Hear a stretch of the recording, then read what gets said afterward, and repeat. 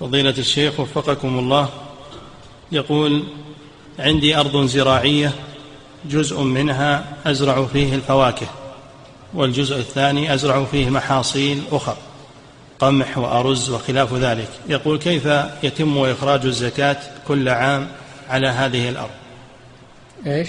عندي أرض زراعية جزء منها أزرع فيه فواكه.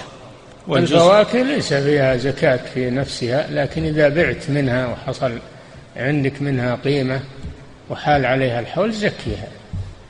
وأما الحبوب والثمار تجب فيها الزكاة إذا بلغت النصاب.